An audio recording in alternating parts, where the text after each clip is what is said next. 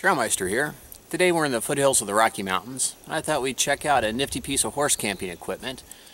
This is a safety highline tie. It's made by K&S Saddlery. It's a pretty nifty piece of gear. Before we get too further into it though, let's see what Ken has to say about it. Ken, can you tell us about this? What is it? It's kind of a safety highline tie, so you can tie your horses up on a highline, and if they get in a panic or get in trouble, it, it releases really easy. So you can release your horse without having to cut the rope or, or have them strangle themselves. It's on a pivot so it can turn so they don't get twisted up. What are some key features of this besides your, your panic snap? You can hook it right on your highline and then hook your horse to the panic snap. Uh, you can let your horse travel on a highline. If you turn it around, it'll travel back and forth.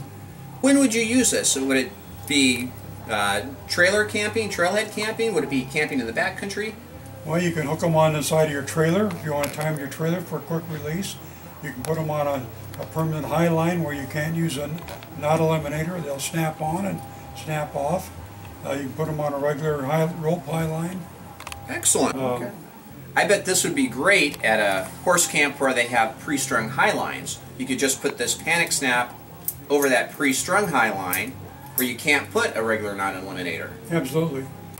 You can get them released in a hurry without cutting a rope or having them strangle themselves during the night and can't get them loose because it, it's real easy to just pull it down loose and release it. It'll come apart. We make it bright color so you can find it. It's all made out of brass and, and heavy nylon so it's almost indestructible but if it is does hurt it doesn't cost a whole lot to replace it. They're only $8.95 a piece.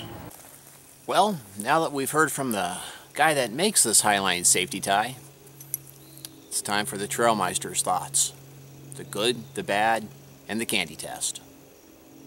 The good things about the Highline safety tie. This thing is stout. It's heavy duty.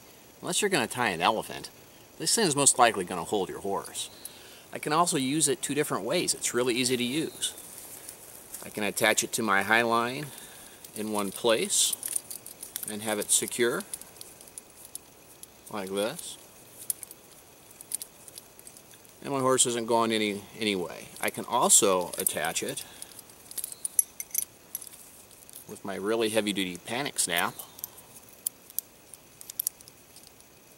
like such. That way my horse can run back and forth if you prefer to tie to a high line that way. So heavy duty, very easy to use. Great things that I really like about the safety highline tie.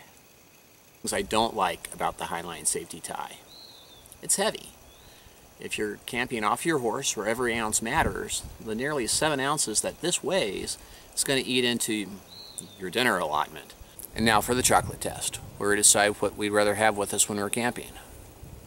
The equipment or an equal weight of chocolate. Well, there you go. If I'm trailhead camping, camping at a campground, I'm going to use the Highline safety tie every time. It's a great piece of gear, it's heavy duty, and it'll get the job done. So, this wins the candy test.